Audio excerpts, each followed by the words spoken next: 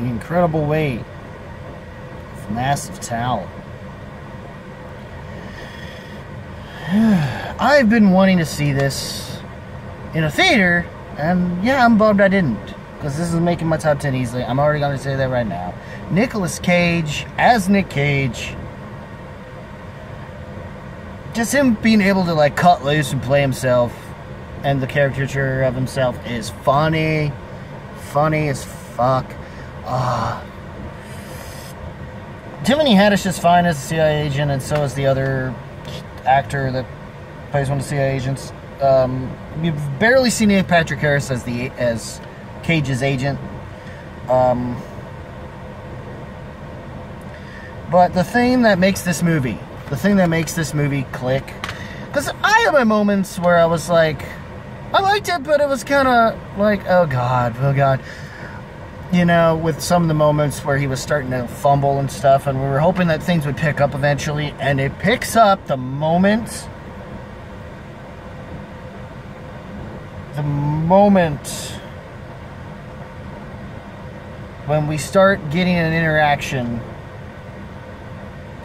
from Javi, Pedro Pascal's Javi, and the chemistry just just goes off, and you're you're like glued to his character a lot because he's such a super fan. The whole point of this movie is that he is is sort of loosely based around the.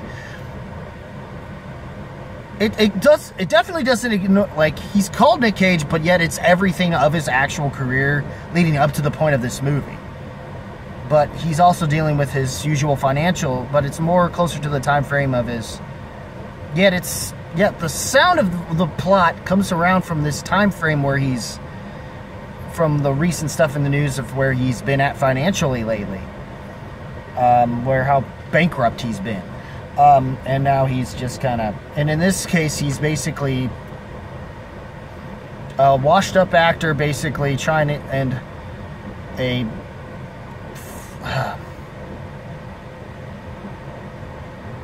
a pathetic excuse of a father, apparently.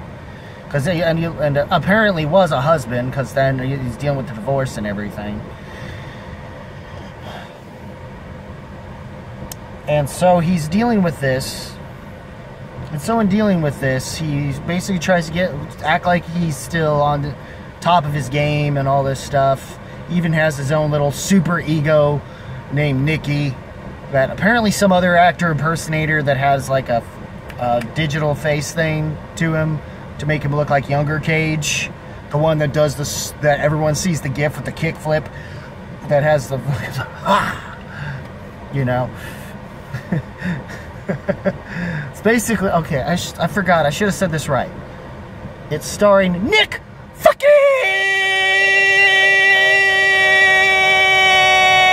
Cage. Probably didn't say it long enough, but you get the point. Sorry for your eardrums, by the way. But yes. And Pedro Pascal is just, he's the super fan in all of us when it comes to like any action hero star or movie star. And in this case, of being Nicolas Cage. And then wanting to finally get a chance to work with him, make a script. And only to find out that apparently something happens in this movie where he ends up getting hired because it seemed like to where he's basically hired by this guy to do a birthday party, to attend a birthday party, and to also wind up possibly doing a movie, trying to star in a movie he wants to star in with him.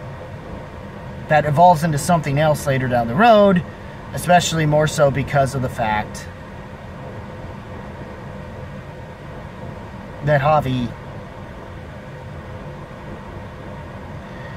Uh, this Javi character because it seems this Javi character also secretly has a darker past uh, that he's being um, considered possibly uh, part of the uh, some form of a mafia, um, or at least he's the head name of the mafia, or something of that nature.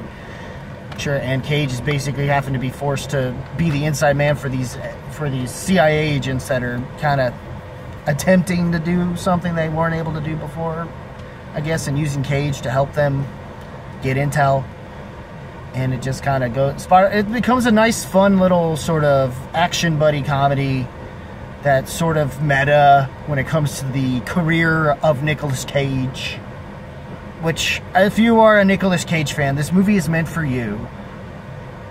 Um, even if you're not, and you see this movie and you love this movie, you will become a Nicolas Cage fan. That's what this movie does so well. Uh, well, or at least it will make you more of one. And I love even the references in some of the movies. And, uh, I don't want to even spoil some of it. It's so good. It's like, uh, and it was an interesting choice of cast, but for the most part, it's it's clearly what sells you in this movie is Cage and Pascal and Pedro Pascal's Javi, chemistry, in the buddy part of buddy cop, of the buddy comedy, action comedy style. Uh, and I, uh, it's amazing. Uh, it's a high recommend, horns up, possibly masterclass certification among the best movies involving Nicolas Cage in general, as well as to the extent of possibly one of Pedro Pascal's best film roles. Uh, aside from his well noted role in the Star Wars series on Disney Plus, The Mandalorian, which I think should be coming in season three and probably better off, I guess, because I don't want them to milk this too much and become what some of these other shows have been lately. If for Star Wars, unfortunately. Or at least not the ones that are in it. At least live action wise. Yeah, animated ones are still doing okay. But anyways, what did you guys think? What did you guys ha have you guys thought of this movie since it's been out? Um, uh, do you what? Uh, do you agree with my thoughts? Do you disagree with my thoughts? What are your thoughts? Do you think this movie is some masterclass shit? Uh, leave a comment below. Let me know if you like this video. Rock that like button with thrust if you must. As always, guys, keep it random. Keep it random. Keep it real. Keep it rocking. And I will see you in the next video. Take care, y'all. Other videos down the pipeline. Just so you know. Take care.